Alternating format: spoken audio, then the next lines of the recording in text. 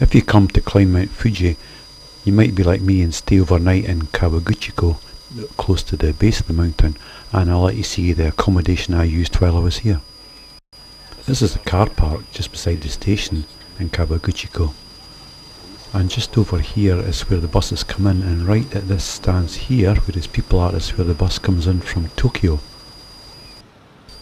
And just directly across from the station, where there are traffic lights, is the road which leads you down to the accommodation I used, and it's called Koe House. And only about 50 yards down that road on the right hand side is the accommodation, and, and painted in the colours that it is, you just can't miss it. This is my room at Koe House. Along the end of this corridor, outside there's a balcony area where you can put your washing such like. And this is the, in here. I take my shoes off. So, a very useful thing, especially during the night, a fan there.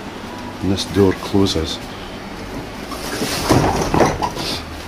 so that closes right over and then looking right through although these doors close that's two other rooms for two and one for three there that door closes. And when you come in you've got your bedroll there. This one's for three people. Nice window there. And there. And the mats on the floor all my rubbish lying in the corner. I can highly recommend this place. The girl on the desk speaks ex excellent English. You can order a breakfast or an evening meal and it's typical Japanese accommodation.